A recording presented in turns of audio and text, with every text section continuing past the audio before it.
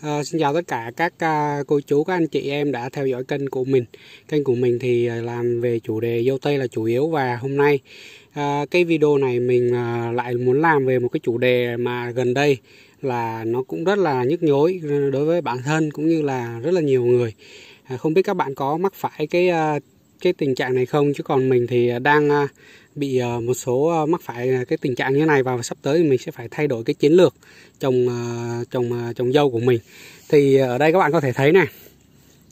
Không biết là quay có rõ nét không thì các bạn có thể thấy nha cây thì đã là cao to rồi, thậm chí đang có quả rồi mà rễ này, các bạn này. Đen và cháy hết. Đen, cháy và đứt hết. Đây này. Những cây này thì hầu hết là nó bị héo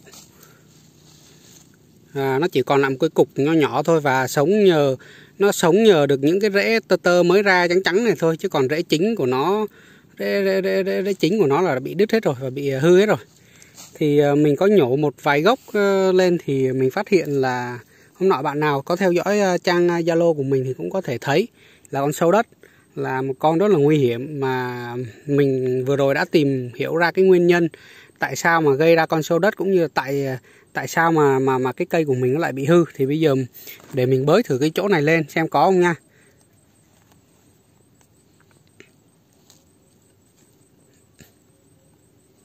Có có có. Có một con các bạn ạ. Không biết còn con nào không? Cái này là mình quay thực tế chứ không phải mình đi bắt nó vô đây rồi mình mình mình mình quay các bạn xem là không có cái điều đó đâu tại vì đây là mình nhổ lên mình thấy cái rễ nó đứt là mình bới cái gốc đó lên là kiểu gì nó cũng sẽ bị. Đó mọi người thấy không? Cái con sâu này này với cái hàm răng này với cái hàm răng này thì nó có thể cắn đứt mấy cái rễ này hết. Đó chỉ cần mỗi con nó nằm ở dưới đất này một gốc thôi là coi như là à, dâu tây của mình nó không lớn nổi. Mà lớn nó cứ đứng mít như vậy á à, cái lá cái liếc của nó cũng như là cái quả cái của nó không ra được. Bởi vậy là cây dâu tây của mình nó sẽ phát triển rất là kém cũng như ở cái video lần này là mình sẽ ờ, giới thiệu ờ, hoặc cũng như là là là chỉ mọi người thêm cái cách để mình phòng trừ những cái con này nhá. Đó ở video này mình thấy cũng cực kỳ là hữu ích luôn. Thì ờ, mọi người mới mua giống về thì chưa biết xử lý thế nào thì mình sẽ hướng dẫn mọi người sau. Rồi à, bây giờ mình có những cái mới ừ, mong mọi người là chú ý theo dõi để à, rút ra những cái kinh nghiệm riêng cho bản thân. Chứ còn cái con này là cực kỳ nguy hiểm nha mọi người cực kỳ nguy hiểm luôn. Nó cắn này đứt hết luôn. Còn mỗi cái được chùm được nhúm chỗ này sau cây lớn nổi. Nó chỉ có đứng như vậy miết thôi. Đó còn những cái cây nào mà nó bị đỏ như thế này thì nó nói chung là do rễ nó yếu thì nó bị đỏ cận. Còn mà rễ nó khỏe thì nó sẽ xanh cận. Nó nó, nó trắng cận hơn nó, nó trắng cái cận của nó hơn. Đấy thì các bạn lưu ý là khi mà mà mà mình uh, có dâu tây về mình vô đất á, thì mình nên xử lý. Một lần là nước vôi. Nước vôi ờ, nước vôi ấy nha mình xử lý hết hoặc là mình uh, trộn với vôi trộn với tỷ lệ vôi hoặc là mình uh, dùng cái thuốc sâu á, mình pha loãng loãng ra bắt đầu mình tưới lên. Trên các cái chậu mà chuẩn mình trồng xong rồi mình tưới lên trồng được khoảng 10 ngày đó mình tưới lên thuốc sâu nhẹ lên các cái chậu đó của mình thì nó sẽ góp phần là tiêu diệt những con này. Nhưng mà cứ chu kỳ là các bạn nên làm khoảng 15 ngày một lần tưới như thế thì sẽ ok hơn. Bởi vì các bạn biết sao trong những cái ờ, cái đất của mình á ờ, đất nào đất nó cũng có cái cái cái cái uh, kiểu như là cái côn trùng ở dưới. Thì uh, côn trùng thì đến lúc mình mình đảo cái đất lên thì nó không có. Nhưng mà các bạn không không ngờ rằng là cái ấu trùng và cái trứng của nó nó nằm ở trong cái đấy rồi. Đến khi nó gặp cái điều kiện thích hợp là nó sẽ nở cái ấu trùng hoặc cái trứng nó ra thì nó sẽ sẽ sẽ sinh ra cái con như cái con hiện tại các bạn đang thấy đây. Đó cái con hiện tại các bạn đang thấy là bắt đầu nó sẽ rồi mình không để ý ấy, là bắt đầu nó sẽ lớn dần lớn mòn và cái thời điểm nhỏ thì nó cắn ít mà thời điểm to thì nó cắn nhiều. Mà nó cắn đến cái mức độ mà nát như thế này rồi thì dâu tây của mình nó sẽ không bao giờ lớn được. Đó các bạn có thể thấy là như vậy. Jun thì nhiều người hiểu là nó sẽ tốt nhưng mà nó chỉ tốt là bởi vì những cái con Jun nhỏ thôi. Những cái con Jun mà sao nhỉ? Những cái con giun mà nó gọi là chùn quế những con giun gọi như là à, nó màu đỏ tươi như là cái màu máu á, thì à, nó mới tốt. Chứ còn những cái con giun như là con giun lươn á con giun to như ngón tay út như thế này á, thì con đấy thì mình nghĩ là nó cũng không được tốt tại vì bản thân nó tạo ra quá nhiều các cái lỗ hổng ở trong đất.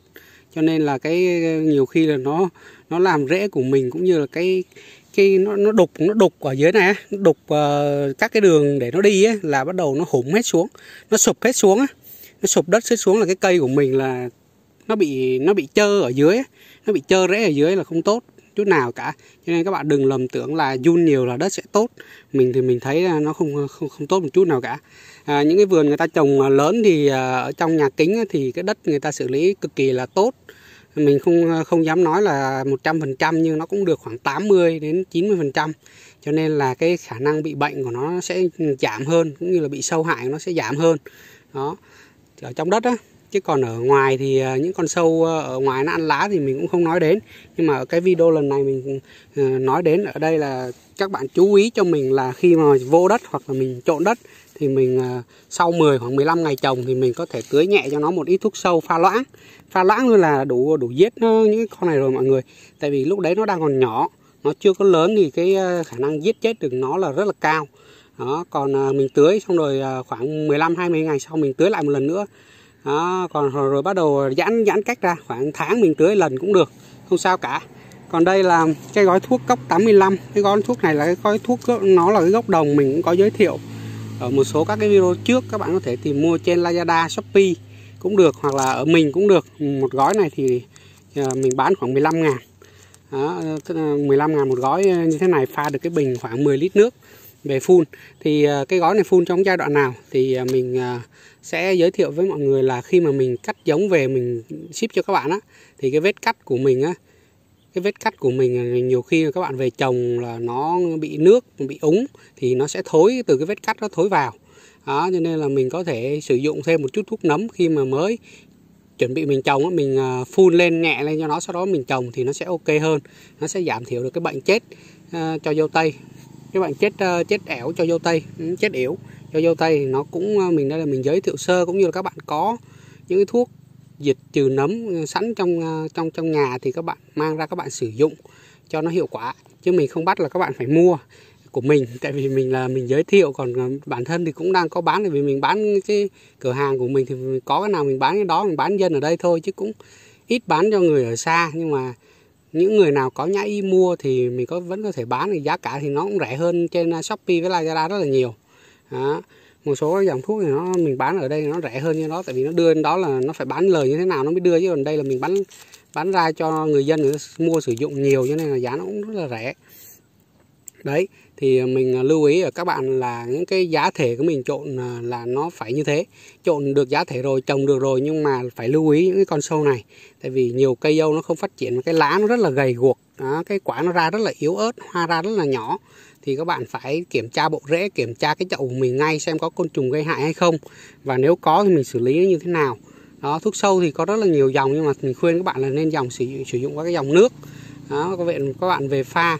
Nhưng nếu các bạn không biết pha thì các bạn đọc đúng cái hướng dẫn sử dụng trên bao bì. Sau đó các bạn pha làm sao cho nó thật chính xác hoặc loãng hơn một chút rồi các bạn tưới. Đó, các bạn tưới ờ, một lần hai lần là ok đó, còn ờ, sắp tới mình sẽ hướng dẫn các bạn trồng trên chậu uh, như thế nào thì ok hơn hoặc là xử lý đất như thế nào chứ tình hình là à, dâu tây là vô mùa vô mùa này là không ổn. Vô mùa này là nó nở những cái con đặc biệt là phân phân ờ, phân hữu cơ phân chuồng nha mọi người. Phân hữu cơ phân chuồng là cái con này rất là nhiều. Đó, cái con trùng trắng sâu trắng này rất là nhiều cho nên là mình càng phải xử lý kỹ và xử lý kỹ rồi nhưng mà khoảng 20 ngày sau hoặc 15 ngày sau mình lại phải xử lý tiếp thì dâu tây của mình nó mới đảm bảo được cái mức độ cho phép. Có nghĩa là côn trùng ở dưới đất thì không bao giờ nó thiếu cả. À, vậy nên nó là mình chỉ à, à, có nghĩa là côn trùng gây hại côn trùng gây lợi đó.